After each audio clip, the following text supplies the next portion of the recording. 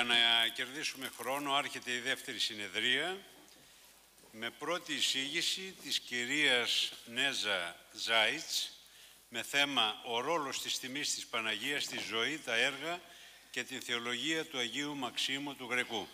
Η κυρία Ζάιτς θα διαβάσει μόνο το πρώτο μέρος και τον επίλογο και το υπόλοιπο θα το διαβάσει ο αναπληρωτής καθηγητής, ο Νικόλας Κόγιος.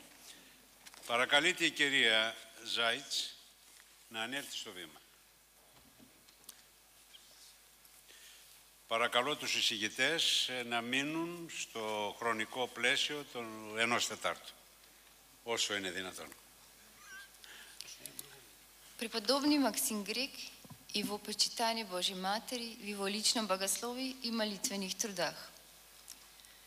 Преподобный Максим Грек, как афонский монах святой обители Ватопет, с древнейших времен, посвященного Пресвятому Благовещению Божьей Матери, приехал в Москву 5 марта в 1518 году. Уже в начале своего пребывания на Руси, в ходе его переводческой работы, когда он впервые на Руси перевел толковую псалтырь, приводил очень достоверный перевод библейской песни Божьей Матери вместе с толкованием ее Григория Назианского богослова, которое выделяет место верующего в иерархии видения всего космического Божьего устройства – эта песня должна свидетельствовать о том, как человеческого благоразумное хваление лишь частица в зрении и благодарении образа Божьего Слова. Поместив эту песню в конце следованной псалтири за четыре года до своей кончины в 1552 году, Максим Грек выразил мысль, о единственном способе оправдания человеческой избранности как следствие Божьего человеколюбия. Благодарю вас.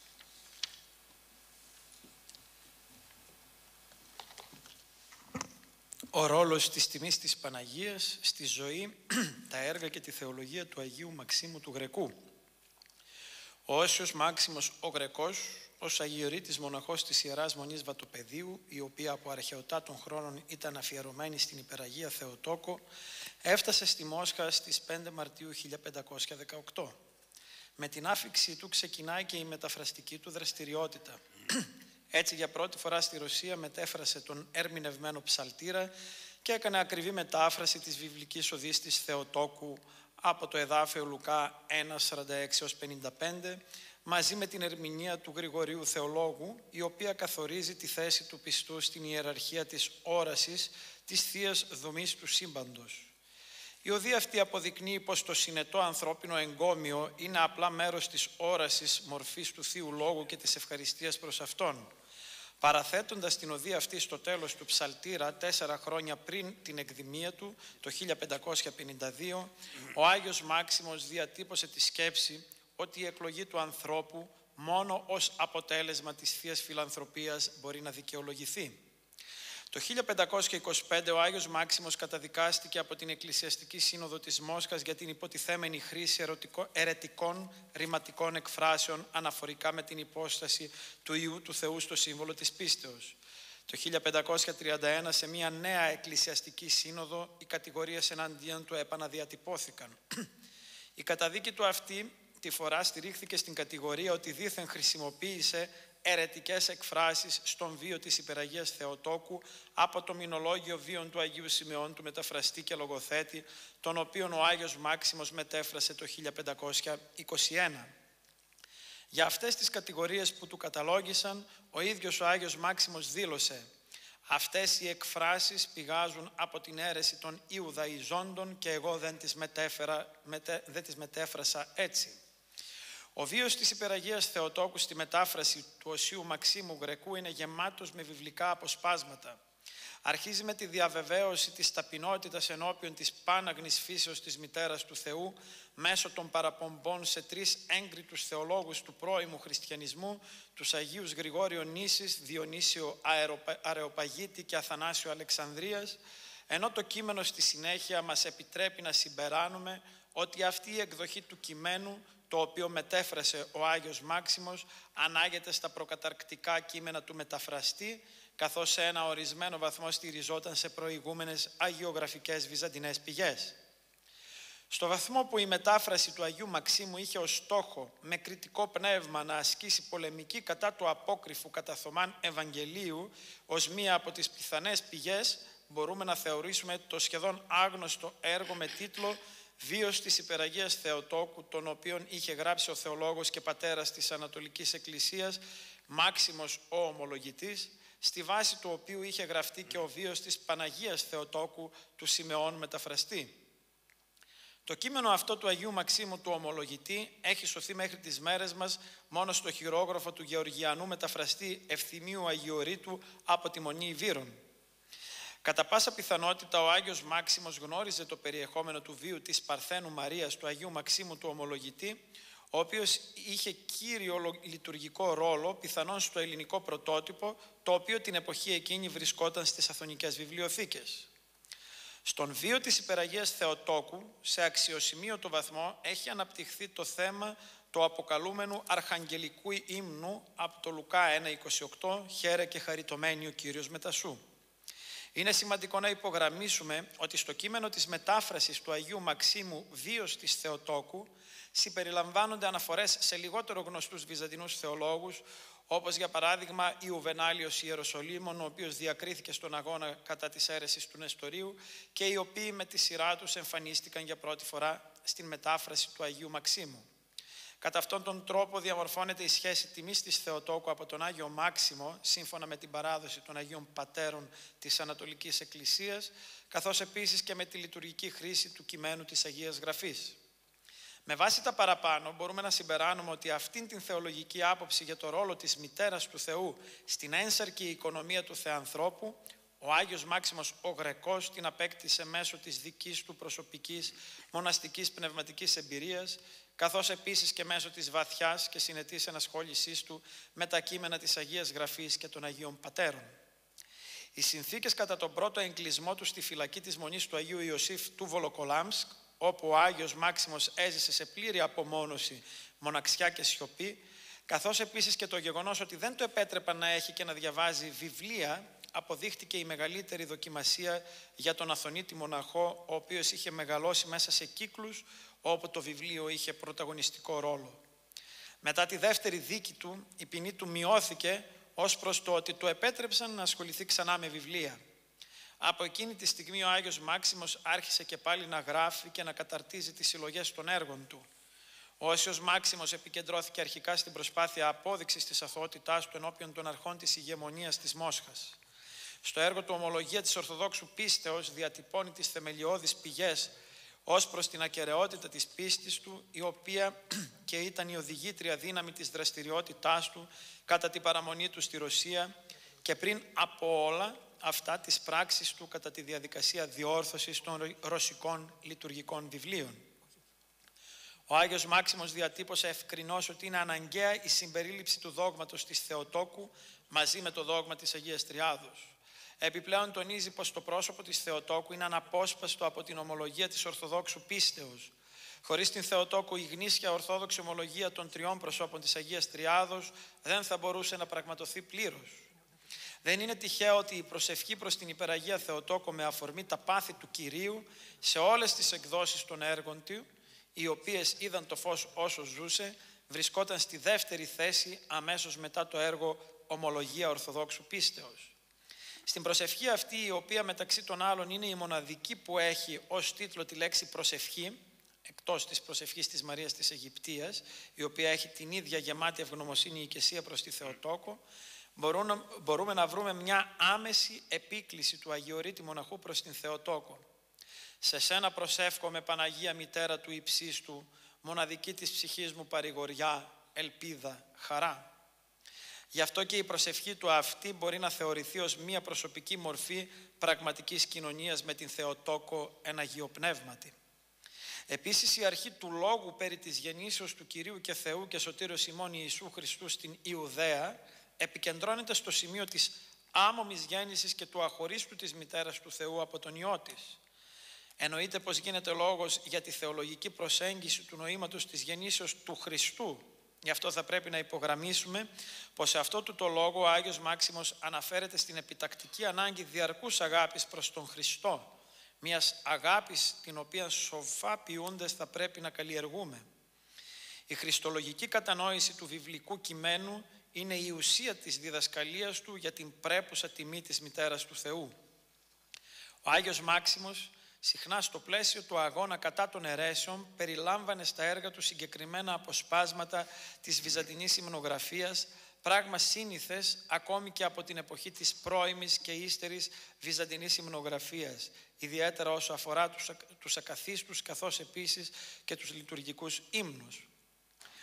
Στο έργο του κατά των υβριστών της Θεοτόκου, ο Όσιος Μάξιμος καταθέτει τη δική του εκδοχή ως προς το γενεαλογικό της δέντρο, το οποίο τεκμηριώνει την αγιότητα της Μητέρας του Θεού με τη βοήθεια των προφητιών από την εποχή της Παλαιάς Διαθήκης μέχρι την εποχή του. Δεν παραλείπει να κάνει αναφορά και στο γεγονός ότι αυτή τιμάται ακόμη και μεταξύ των μη Ορθοδόξων. Πέραν αυτού όμως μπορούμε να αναφέρουμε το έργο του «Αφήγημα για τον ουράνιο κόσμο και τη σωτηρία της ψυχής ημών, άνος χώμεντας καρδίας», στο οποίο ο Άγιος Μάξιμος χρησιμοποιώντας φράσεις των υμνογράφων Ιωσήφ και Κοσμά ισχυρίζεται πως η μητέρα του Θεού είναι η μόνη που πήρε τέτοια χάρη από τον Υιό της, αναστήθηκε πριν από τη Δευτέρα Παρουσία και με το δοξασμένο σώμα της ήδη ζει την Θεία Ζωή και βρίσκεται δεξιά του Ιού και Θεού της.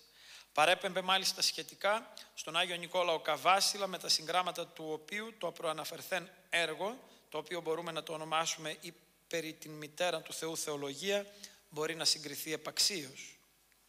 Η λόγια μαρτυρία της θείας έμπνευσης του Αγίου Μαξίμου Γρεκού από το Άγιο Πνεύμα φαίνεται καλύτερα από οπουδήποτε αλλού στον παρακλητικό κανόνα στο Άγιο Πνεύμα, τον οποίον έγραψε κατά τη διάρκεια της πρώτης φυλάκισής του στο σκοτάδι με ένα κάρβουνο στον τοίχο της φυλακής στη μονή του Αγίου Ιωσήφ του Βολοκολάμσκ. Σε αυτή την προσευχή δεν είναι τυχαία η διαρκής επανάληψη της μνημόνευσης της Θεοτόκου σε ύμνο που είναι αφιερωμένος με τη σειρά στον Χριστό, την Αγία Τριάδα και το Παράκλητο Πνεύμα. Στην προσευχή αυτή έχει προσθέσει και ένα δύστιχο που απευθύνεται στη Θεομήτωρα. Αυτό μπορούσε να το δανειστεί από τον ιδιότυπο κανόνα των προσευχών, ο οποίος αναφέρεται αμέσως μετά την αρχή αυτού του κανόνα. Επιπλέον ο προαναφερθής κανόνας αλλάζει μορφή κατά τη διάρκεια όλης της προσευχής. Μετά την ενάτη οδή παρατίθενται τα μεγαλινάρια τα οποία αρχίζουν με τις λέξεις άξιον εστί όπως γίνεται στον Άθωνα ενώπιον της κάθε εφεστίου εικόνας της Θεοτόκου αλλά αυτά είναι προσαρμοσμένα για το Άγιο Πνεύμα. Στην τελική προσευχή που είναι αφιερωμένη στο Άγιο Πνεύμα, στο τέλος του κανόνα έχει προσευχή προς την Θεοτόκο που τελειώνει με το εφήμνιο «Χαίρε νύμφια νύμφευτε». Επαναλαμβάνεται το υπόδειγμα από τον κανόνα του Ευαγγελισμού τον οποίο μπορούμε να βρούμε στο ελληνικό ψαλτήρι, το οποίο είχε μαζί του στη φυλακή στη μονή ο Τρότς της Τβέρ, όταν δίδασκε ελληνική γλώσσα στον μοναχό Βενιαμίν και έγραψε σύμφωνα με τον τελευταίο ένα νέο κοντάκιο του Ευαγγελισμού.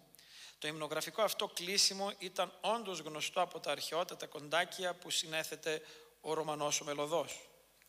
Θα πρέπει να συμπληρώσουμε πως ο Άγιος Μάξιμος κατά την πρώτη περίοδο μετά την άφηξή του στη Μόσχα μετέφρασε επίσης τον, ε, την οδή της κοιμήσεως της Παναγίας Θεοτόκου. Πιθανόν η οδή αυτή είναι η πρώτη μετάφραση του έργου του Σιμεών του μεταφραστή. Θα πρέπει να υπογραμμίσουμε επιπλέον ότι ο Άγιος Μάξιμος ο Γρεκός, ως βατοπεδινός μοναχός, συνέθεσε και την ακολουθία του Αγίου Εράσμου και τον παρακλητικό κανόνα του Αγίου Ιωάννου του Βαπτιστού. Οι ακολουθίες αυτές εκφράζουν τη βαθιά σχέση με την τιμή της Θεοτόκου, καθώς επίσης και με τη λειτουργική κληρονομιά των εορτών προς τιμήν του Ιωάννου Βαπτιστού που συνέθεσε ο Σιμεών ο Μεταφραστής. Μόνον υπό αυτό το οπτικό πρίσμα γίνεται κατανοητό γιατί στην τιμή της Θεοτόκου ο Άγιος Μάξιμος ο Γρεκός είχε την ευκαιρία να διακρίνει εκείνα τα χαρακτηριστικά της προσωπικής πνευματικής του άσκησης η οποία ήταν απόρρια μιας πολύ συγκεκριμένης αθωνικής ασκητικής παράδοσης. Η προσωπική του αυτή άσκηση δεν ήταν τίποτε άλλο παρά η αντανάκλαση της συγκεκριμένης αγιορητικής παράδοσης και σίγουρα σχετίζεται και με το βατοπεδινό τυπικό καθώς πρέπει να αναγνωρίσουμε στο πρόσωπο του Μαξίμου του Γρεκού τον άοκνο τηρητή και υπερασπιστή του. Εδώ όμως φαίνεται πόσο ουσιαστική ήταν η πνευματική στήριξη της Υπεραγίας Θεοτόκου, η οποία βοήθησε τον Άγιο Μάξιμο να επιβιώσει ακόμη και κάτω από τις πιο αβίωτες συνθήκες στη Ρωσία. Στο σημείο αυτό, την ώρα που θα διαβάζει η κυρία Ζάιτς ε, το τελευταίο απόσπασμα της ομιλίας της, θα γίνει μια προβολή έξι διαφανειών, οι οποίες είναι από εικόνες του 1520, του 1552 και του 1521. Υπάρχει μια διαφάνεια που αφορά την οδή της κοιμήσεως στη Θεοτόκο και η τελευταία διαφάνεια είναι πιθανότατα μια αυτοπροσωπογραφία του Αγίου Μαξίμου από μια πολύ σπάνια συλλογή χειρογράφων η οποία φυλάσσεται στην Εθνική Βιβλιοθήκη των Παρισίων. Κυρία Ζάιτς, να διαβάσετε την τελευταία παράγραφο.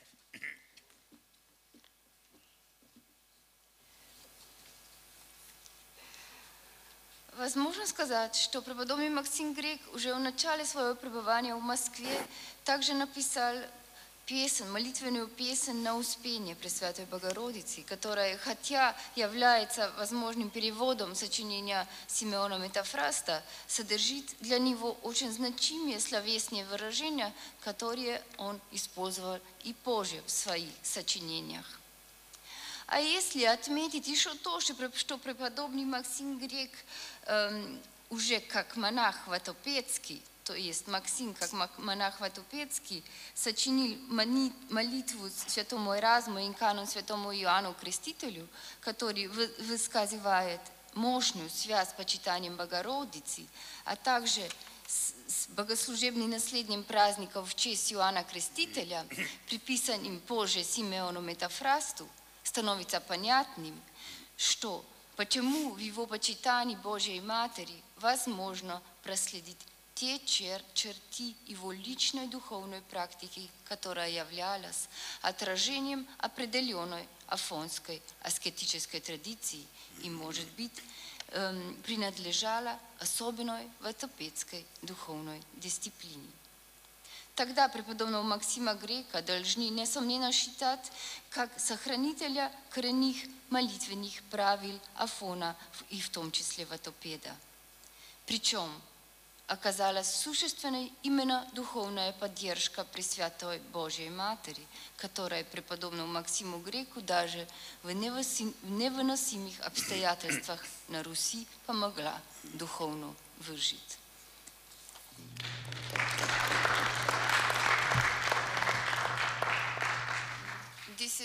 Ευχαριστούμε θερμά την κυρία Ζάιτς για την ωραία εισήγησή της.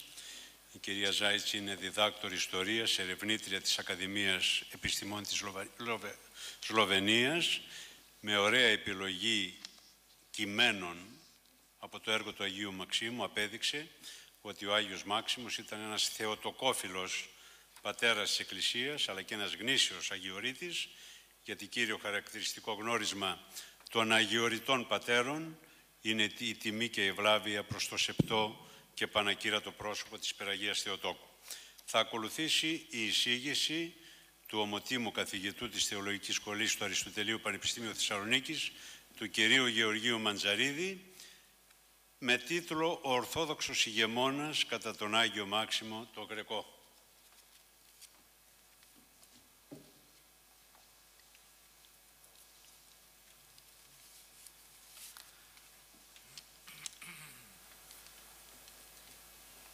Σεβασμιότατοι, Άγιοι καθηγούμενοι, σεβαστοί πατέρες, κυρίες και κύριοι. Μέσα στο πλήθος του πολυμερούς συγγραφικού έργου του Αγίου Μαξίμου του Γρεκού, με τους πολλούς σκοπούς και αποδέκτες του διακρίνομαι και ορισμένα κείμενα που απευθύνονται προς τους άρχοντες της Ρωσίας της εποχής εκείνης. Τα κυριότερα από αυτά είναι η ηθική διδασκαλία για τους άρχοντες και η επιστολή του προς τον Τσάρο Ιβάν τον Τέταρτο, το γνωστό ως Ιβάν Τρομερό. Τα κείμενα αυτά γράφονται στη Ρωσία κατά τις αρχές του 16ου αιώνα.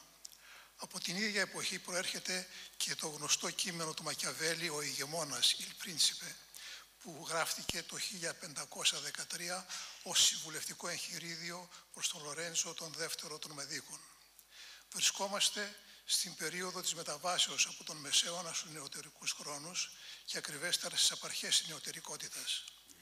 Ο φλωρεντινός πολιτικός και φιλόσοφος Νικολό Μακιαβέλη απομακρύνεται από τη μακραίωνη παράδοση του χριστιανικού κόσμου που συνέδεε στενά την πολιτική με τη θρησκευτική ζωή και ακολουθεί την σχολαστική διάκρισή τους που καθιερώθηκε με τον Θωμά τον Ακινάτο. Ο Άγιος Μάξιμος ο Γρεκός, ως κοσμικός Μιχαήλ Τριβόλης, μετέβη το 1489 για σπουδές στην Ιταλία, όπου έζησε περί τα 12 χρόνια στη Φλωρεντία και γνώρισε το καλλιεργούμενο νεωτερικό πνεύμα. Εκεί είναι πιθανό να γνώρισε και το συνημελικό του Νικόλο Μακιαβέλη. Τελικά όμως έφυγε από την Ιταλία το 1506 αποδοκιμάζοντας ταυτόχρονα και το εκεί καλλιεργούμενο πνεύμα. Έτσι και ο κεντρικός άξονας θεωρήσεως της πολιτικής όπως και της ηθικής ζωής παραμένει για αυτόν η θρησκευτική η ορθόδοξο παράδοση του Βυζαντίου. Η διδασκαλία ηθική για τους άρχοντες των χριστιανών που δημοσιεύεται ως λόγος 8 στον πρώτο τόμο των Αγίου Πάντων του Αγίου αρχίζει με το προσδιορισμό του ήθους που πρέπει να διακρίνει τον χριστιανό άρχοντα. Η Ανδρεία του σώματος γράφει έχει την ιδιότητα να καταβάλει τα σώματα των εχθρών, να συντρίβει τα γερά τείχη των πόλεων και να μάχεται τον ορατό εχθρό. Ενώ η ανδρεία της ψυχής του Θεοσιβούς Βασιλέως πρέπει να συνίσταται στο να νικάει τα σαργικά πάθη με τον φόβο του Θεού και με τον Θείο Ζήλο.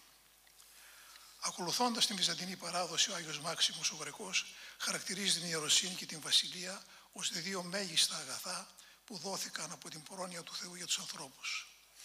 Η βασιλεία και η ιεροσύνη κοσμούνται και περιφράσσονται με την ομολογία της ευσεβούς Ορθοδόξου πίστεως.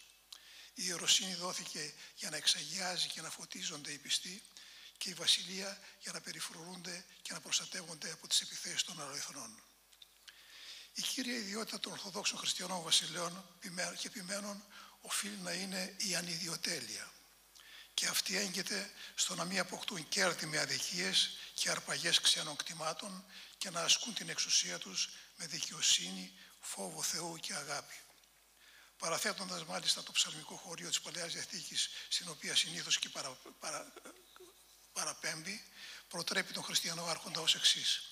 Έντινον και κατεβοδού και βασίλευε, ένα και αληθείας και πραότητος και δικαιοσύνης. Η συχνότερη χρήση της Παλαιάς Διαθήκης στην σκιαγράφηση του χριστιανού άρχοντα από τον Άγιο Μάξιμο οφείλεται στην φύση του θέματος που πραγματεύεται. Η Παλαιά Διαθήκη κινείται στο επίπεδο της δικαιοσύνης του νόμου, ενώ η Καινή Διαθήκη στο επίπεδο της χάριτος. Η ιεροσύνη και η βασιλεία εξυπηρετούν τη ζωή των ανθρώπων σε δύο επίπεδα, στο πρόσχερο και στο αιώνιο.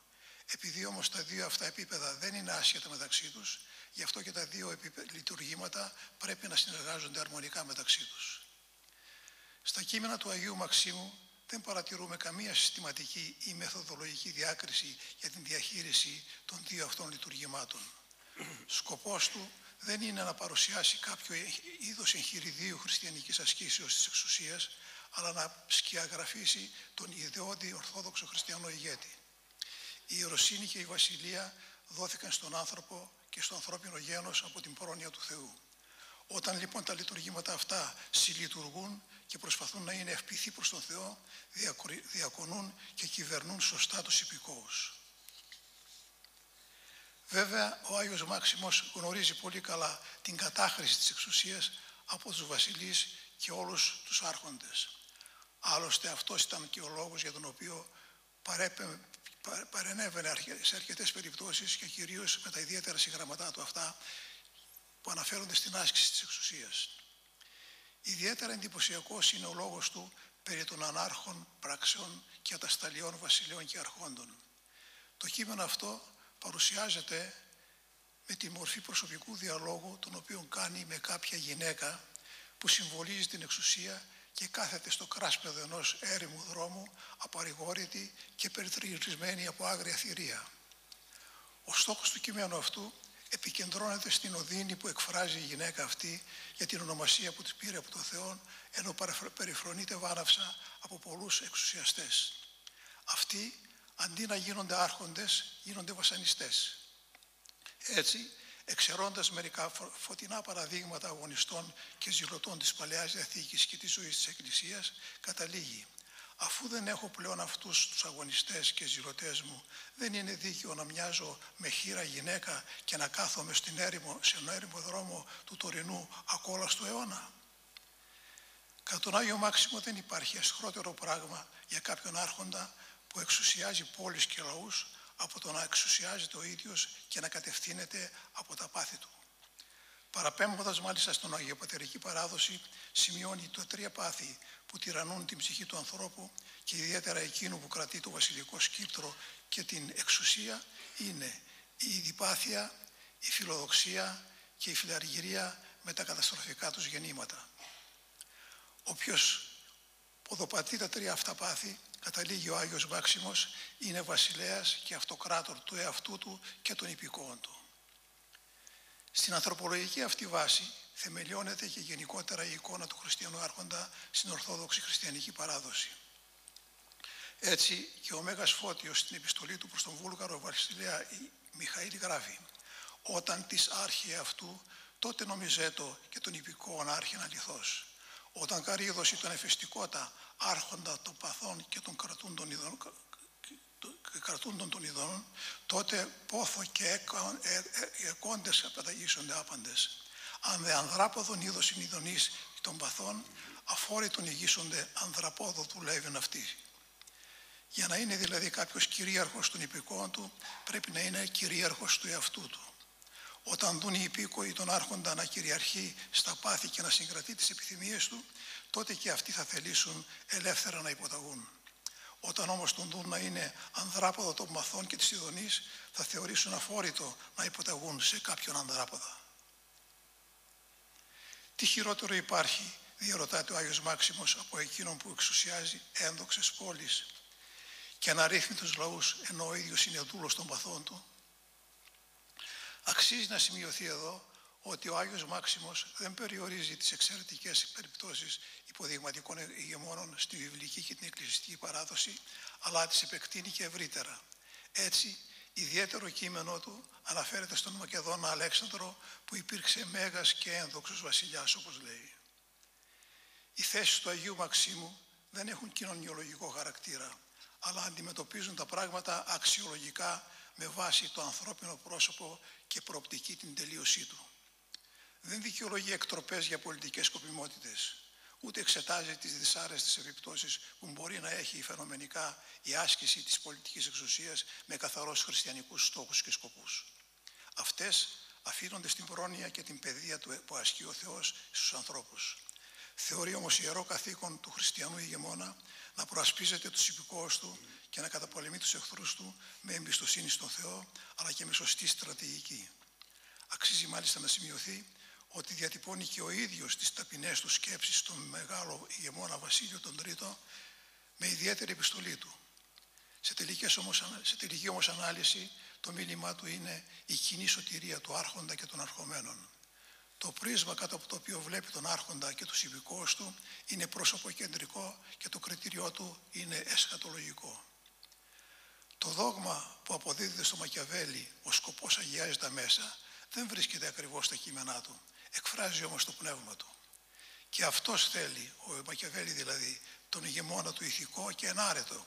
Αλλά ο ηγεμόνας αυτός πρέπει να έχει μια ιδιόμορφη αρετή. Στα ελληνικά θα λέγαμε πρέπει να έχει την αρετή της πανουργίας με την ετοιμολογική σημασία της λέξης, να κάνει παν έργον δηλαδή για να επιτύχει το σκοπό του.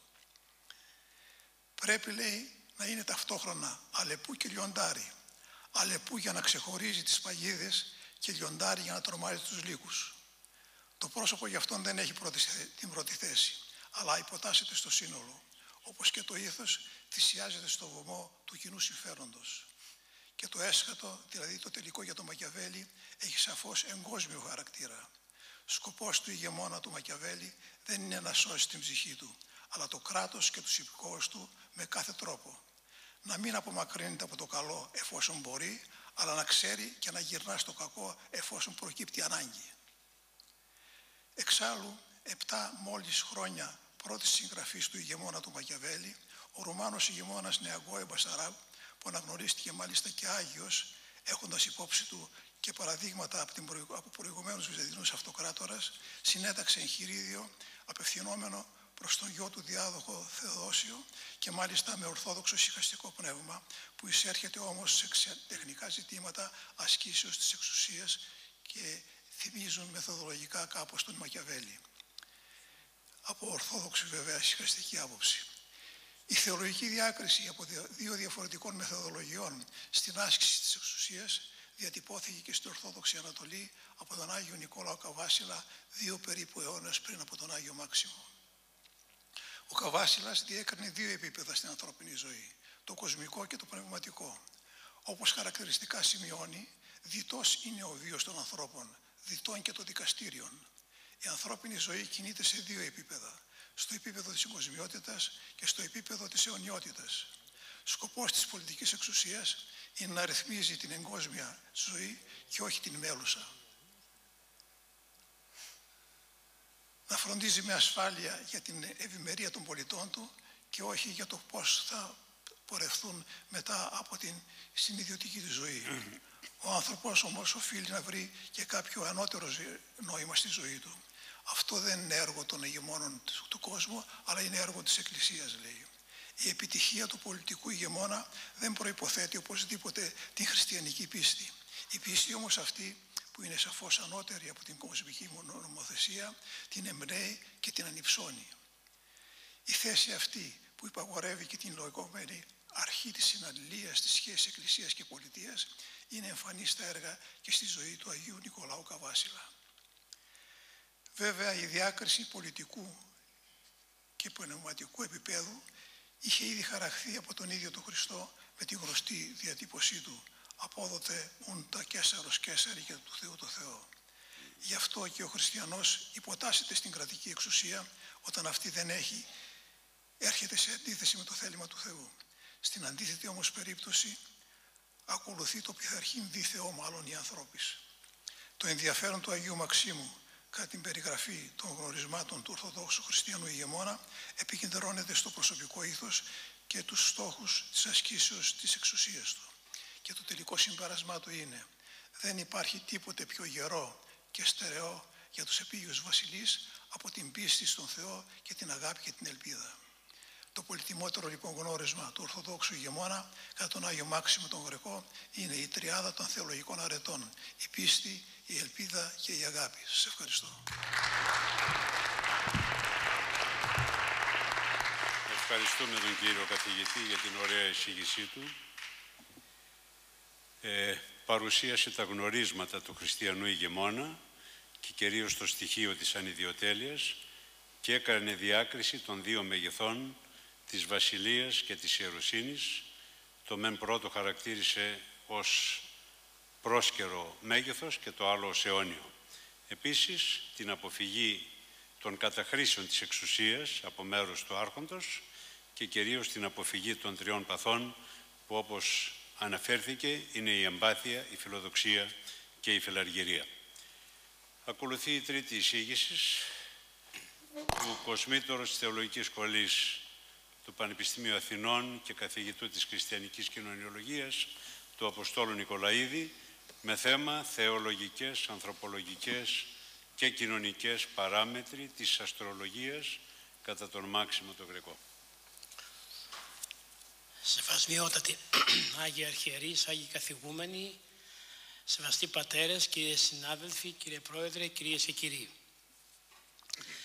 Θέλω να ευχαριστήσω την Ιερά Μονή Βατοπεδίου, ιδιαίτερα το γέροντά της, πρώτον για την πρόσκληση, τη μυτική πρόσκληση να μετάσχω σε αυτό το διεθνές συνέδριο και δεύτερον για την ευκαιρία που μου έδωσε να βρεθώ κοντά στο μάξιμο των ομολογητή και σιγά σιγά να ασχολούμαι και με αυτόν. Ε, πρέπει να σας πω ότι είχα ακούσει για το διεθνές της Άρτας αλλά δεν εντρήφησα και ιδιαίτερα ευχαριστώ λοιπόν που μου δίνεται αυτή η ευκαιρία ετοιμάσει ένα κείμενο το οποίο θα μπει στα πρακτικά. Εδώ, υποτύπων σημείων, θα σας δώσω το σύνολο του προβληματισμού σχετικά με το πρόβλημα της αστρολογίας στην εποχή του.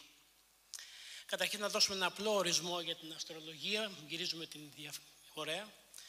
Ε, είναι ένα πλέγμα από αντιλήψεις αναφορικά με τη σχέση επιρροής των ουράνιων σωμάτων σε ζωή των κοινωνιών και των μεμονωμένων ανθρώπων κόντρα στην επιστήμη και την παραδεδομένη αιτιοκρατία. Η, η αστρολογία κινείται σε δύο επίπεδα, ένα υπερκόσμιο, θεωρεί και λέγεται και θεωρητικό αυτό το επίπεδο που εκτείνεται στο σύμπαν. Ε, στην περίπτωση αυτή η αστρολογία ισχυρίζεται ότι η ζωή της γης ρυθμίζεται υπερκόσμια και το δεύτερο έχει να κάνει με το ε, με το πρακτικό χαρακτήρα της, στηρίζεται στην γενεθλιολογία και εκτείνεται σε προβλέψεις που αφορούν στην καθημερινότητα των ανθρώπων. Είναι αυτά που βλέπουμε να δημοσιεύονται σε εφημερίδες και περιοδικά και να αναρτώνται στο διαδίκτυο. Πάμε στην επόμενη, πολύ ωραία. Τώρα, δύο-τρεις, μάλλον μερικές παρατηρήσεις εισαγωγικές μου βγουν στο θέμα. Ο Μάξιμος ομολογητή, ο, με ο Άγιος Μάξιμος ο Γρεκός ασχολείται με την αστρολογία για δύο λόγους. Πρώτον, γιατί έχει να κάνει με έναν ακατήχητο ρώσικο λαό και δεύτερον, η αστρολογία έχει ευρία εξάπλωση σε όλη τη ρωσική επικράτεια. Διακρίνει την, την αστρολογία από την αστρονομία, ε, αποδίδοντας σαφώς ε, τα θετικά, τα μόνο τα θετικά της αστρονομίας και όλα τα αρνητικά της αστρολογίας. Χαρακτηρίζει την αστρολογία ως σατανική πλάνη και πονηρολογία, τους δε αστρολόγους ως θεομάχους, και συκοφάντες του Θεού και γι' αυτό θεομίση τους. Ε, ως υπόβαθρο για την κριτική που ασκεί στην αστρολογία είναι οι σπουδές που έκανε στην Ιταλία και αναφέρθηκαν, είναι η πάρα πολύ καλή σχέση του με την αρχαία φιλοσοφία, τη βιβλική και αγιοπατερική παράδοση και κυρίως τις διαψεύσεις από όσα μέχρι τώρα έχουν προβλέψει οι αστρολόγοι και δεν έχει επιβεβαιωθεί σχεδόν τίποτε. Και περνάμε στη θεολογική κριτική της αστρολογίας. Πρώτον, πουθενά στη βίβλο δεν συναντά ο μάξιμος ομολογητής την λέξη τύχη, πεπρωμένο ή κάτι σχετικό. Δεύτερον, στην Παλιά Διαθήκη τα άστρα σαφώς και υπηρετούν τη βούληση του Θεού και δεν τον ξεπερνούν ούτε τον υποκαθιστούν.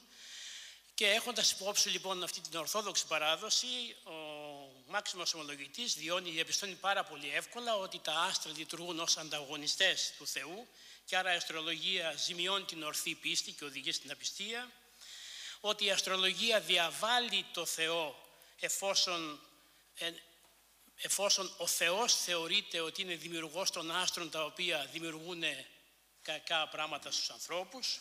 Πάμε στην επόμενη. Και κυρίως καθιστά η αστρολογία το Θεό αντιφατικό, γι' αυτό και θέτει περίπου τα εξής ερωτήματα ο Μάξιμος ο Γρεκός πώς μπορεί να είναι αιτία των κακών ο Θεός και ταυτόχρονα να είναι και πανάγαθος και δίκαιος. Δεύτερον, πώς γίνεται να πλάθει τον άνθρωπο ελεύθερο, στη συνέχεια να τον καθιστά υποχείριο των άστρων και βεβαίως να του καταλογίζονται και ευθύνες. Τρίτον, πώς είναι ο, ο δυνατόν ο Θεός να ορίζει απαγορευτικές εντολές και στη συνέχεια να πιέζει τους ανθρώπους να τις παραβαίνουν. Τέταρτον, πώς γίνεται άλλα να εντέλεται ο Θεός και άλλα να εντέλονται τα άστρα. Πέμπτον, πώς γίνεται σε άλλους να, δίδεται, να δίδει ο Θεός ευημερία και σε άλλους δυστυχίες, πώς μπορεί από την ίδια πηγή το Θεό να εξέρχεται το καλό και το κακό και τέλος πώς γίνεται τα πλάσματα του Θεού να διαθέτουν δυνατότητα πρόβλεψης του μέλλοντος, μια ιδιότητα που ανήκει καθαρά στην υπόθεση, καθαράς στις ιδιότητες του Θεού. Συμπερασματικά από τη θεολογική του κριτική, Όποιος πιστεύει στο Θεό δεν συνδέει τη γέννησή του με τα άστρα, δεν προσαρμόζεται στην ημαρμένη, δεν φοβάται τις κακές ημέρες, δεν αξιολογεί χρόνια, ώρες και στιγμές ως ευμενής ή δυσμενής, δεν βάζει τίποτε πάνω από το δημιουργό, δεν πιστεύει στα θεσπίσματα, στα θεομίστητα οροσκόπια, συγγνώμη, και όποιος πιστεύει στα άστρα στερείται του Θείου Φωτισμού και απομακρύνεται από τη χάρη και τη φροντίδα του Θεού και περνάμε στην ανθρωπολογική κριτική σύντομα. Δύο είναι τα ανθρωπολογικά ζητήματα που συναντά ε, στους αστρολόγους ο, ο Άγιος Μάξιμος ο Γρεκός. Πρώτον, ότι αγνοείται η ιδιαιτερότητα του ανθρώπου και βάλεται εξαιτίας των γενικεύσεων των ε, προβλέψεων των αστρολόγων. Και τρίτο και δεύτερον, με το οποίο ασχολείται και ιδιαίτερα, πλήττεται η ανθρώπινη ελευθερία η οποία είτε αχρηστεύεται από τους αστρολόγους είτε συνυπολογίζεται. Περνάμε στην επόμενη διαφάνεια. Ποια είναι τα ερωτήματα που τίθενται εδώ; Αν το ήθος καθορίζεται άνωθεν και έξωθεν, σε τι ευθύνεται ο άνθρωπος και τι νόημα έχουν οι κυρώσεις; Δεύτερον, μπορείς να τιμωρείς κάποιον που ενεργεί υποπίεση, ανάγκη και βία; Τρίτον, αν η πορεία κάποιου καθορίζεται άνωθεν, τότε γιατί δεν είναι ομοιόμορφη και ενιαία; Δηλαδή κάποιος γεννιέται φτωχός και γίνεται άρχοντας παράδειγμα χάρη. Αν ο άνθρωπος δεν επιλέγει ελεύθερα, τότε σε τι διαφέρει από τα ζώα. Και το τελευταίο, αν τα άστρα κυριαρχούν απολύτως στον άνθρωπο, τι νόημα έχει η θεραπεία των αρνητικών του επιλογών; Τι νόημα έχουν οι προσευχές, τα κομποσχήνια, οι νηστείες, οι ολονυχτίες; Και βέβαια η αυτοκριτική. Συμπέρασμα. Τα άστρα μπορούν να προαναγγέλουν καιρικά φαινόμενα όπως η βροχή, η λειψιδρία, το κρύο, η ζέστη, η ξηρασία, η άνεμη κλπ. Δεν μπορούν όμως σε καμιά περίπτωση να επηρεάζουν την ανθρώπινη βούληση. Πάμε σε κάτι το οποίο δεν αναφέρεται στον τίτλο της εισηγήσεως, είναι η εκκλησιαστική κριτική. Ο Μάξιμος, ο Άγιος Μάξιμος ο Γρεκός διαπιστώνει μια πολύ καλή σχέση μεταξύ ε, των αστρολόγων και της Ρωμακαθολικής Εκκλησίας. Υπάρχουν πάπες οι οποίοι έχουν προσωπικούς αστρονόμους, ε, χειροτονούν καρδινάλιος, ένας χειροτονεί αστρολόγο καρδινάλιο, ο άλλος ιδρύει έδρα αστρολογίας στη Βατικανή Σχολή. Η Παπική Εκκλησία είναι γνωστό ότι διώκει τους αστρονόμους, όπως ο Γαλιλαίος και ο Κοπέρνικος. Ο Λούθυρος είναι εχθρός της, ε, της αστρολογίας και άλλα Ξέρετε πώς παίζεται το παιχνίδι μεταξύ Λουθριανισμού και Βατικανού.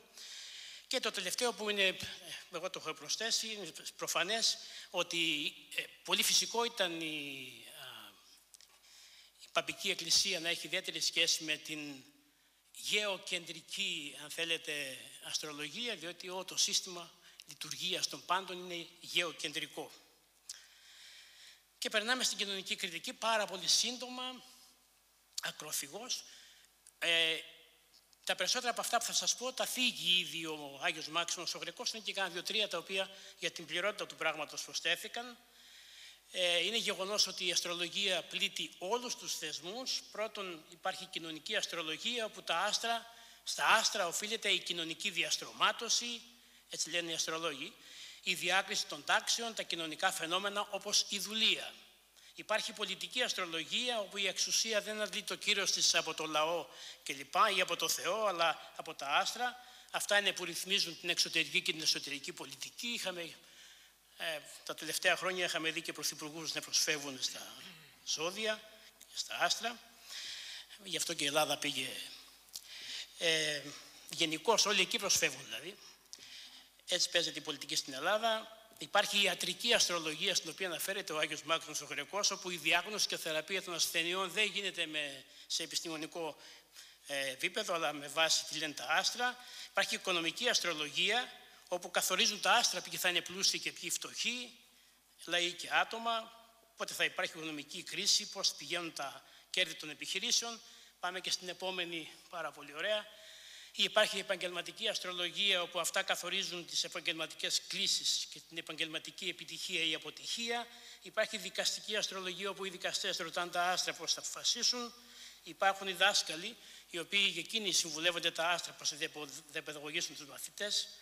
Υπάρχει η οικογενειακή αστρολογία όπου ρυθμίζεται η επιλογή και η σχέση των συζύγων, σχέση γονέων και, γονέων και παιδιών, η ανατροφή τους και τα διαζύγια. Και τέλος υπάρχει αυτό που είναι σύγχρονο, στο οποίο δεν αναφέρεται βέβαια ο Μάξιμος ο Γρεκός, το τελευταίο που υπάρχει, είναι η περίφημη ερωτική αστρολογία στην οποία καταφεύγουν οι πάντες.